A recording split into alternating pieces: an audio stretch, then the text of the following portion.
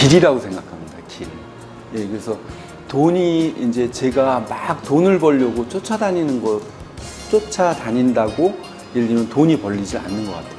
그래서 이제 돈이 오는 길은 따로 있는 것 같아요. 그래서 제가 그 길을 잘 파악하고 이제 올바른 길로 들어선다라고 하면 이제 돈을 이렇게 벌 수 있는 기회가 많은데 그 미리미리 이제 그 돈과 관련되는 자기 재무와 뭐 경제와 이런 관련된 지식을 습득하고 있으면 제가 바른 길로 가는 그런 돈을 벌 수 있는 바른 길로 갈 수 있는 게 되는데 그런 거를 좀 소홀히 한다라고 하면 전혀 다른 길을 또 가는 것 같아서 저는 이렇게 음, 지금 뭐 은행 생활을 뭐 2, 30년 동안 하면서 생각한 돈은 뭐냐?